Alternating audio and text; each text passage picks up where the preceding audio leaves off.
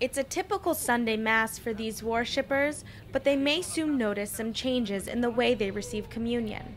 Instead of the weekly bread and wine, the wine may be withheld for special occasions. I think it'll help Catholics be more joyful when they do get to celebrate receiving Holy Communion under both forms. But not everyone is so joyful to see the change.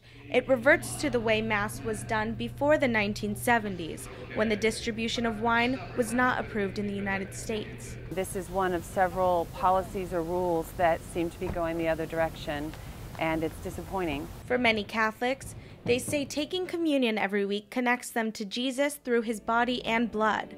But Father John Muir at Tempe's Newman Center says the full experience can happen with the bread alone. And we believe that nothing more is received if a Catholic receives under both. Looking historically at the sacrifice of Jesus, um, all references are to body and blood, eating the bread and drinking the cup. The Phoenix Diocese is the only chapter in the U.S. that plans on making this change. Phoenix Bishop Thomas Olmsted wants to align his communion policy with parishes worldwide.